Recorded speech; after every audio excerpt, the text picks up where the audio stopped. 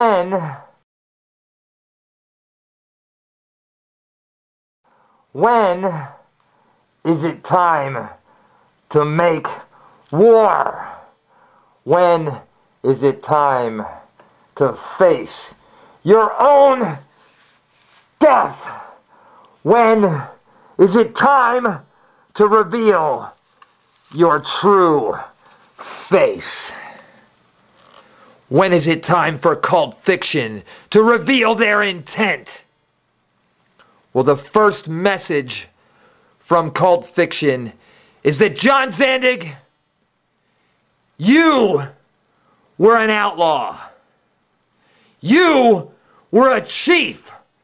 That any warrior with a little bit of intelligence, a little bit of humility,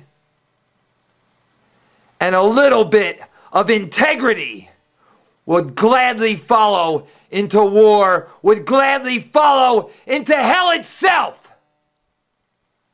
And that brings me to the new owner of CZW,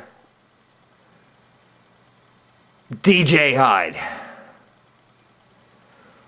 Well, DJ, as far as I'm concerned, you're just a man who wrote the check.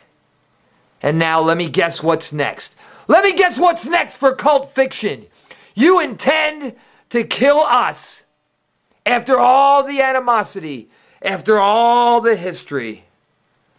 You intend to kill us with a pencil and a piece of paper. Well, DJ, that's not going to happen, friend. That's not going to happen by a long shot. That's not going to happen until you kill me. That there's a lot of ways, DJ, to handle a problem. You can handle it with your brain. You can handle it with your friends. You can handle it with violence, with ultra violence. You can handle it with a weapon, with a maniac, just some nut with something dangerous in his hand. Maybe I'll send one of the beasts of the earth. One with fangs, one with claws, one with big black wings, one that crawls across the earth, or maybe one that slithers and has a bite.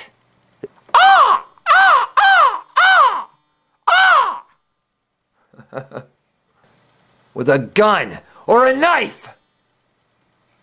There's a lot of ways, DJ. There's a lot of ways to handle a problem. Maybe you think you know has an allegiance to cult fiction in CZW. Maybe you do. And maybe you don't.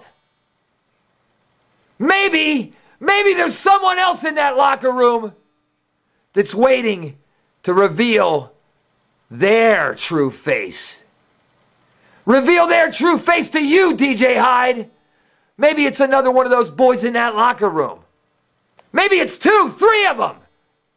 Hell, maybe it's a couple of those guys in the yellow shirts. Yeah, maybe, maybe it's Scrawny Shawnee. Maybe Billy Gram has brainwashed Scrawny Shawnee, and he's the next man waiting to reveal his true face and stick a knife in your back on my orders. Well, DJ, if I were you, I'd learn to grow eyes in the back of my head.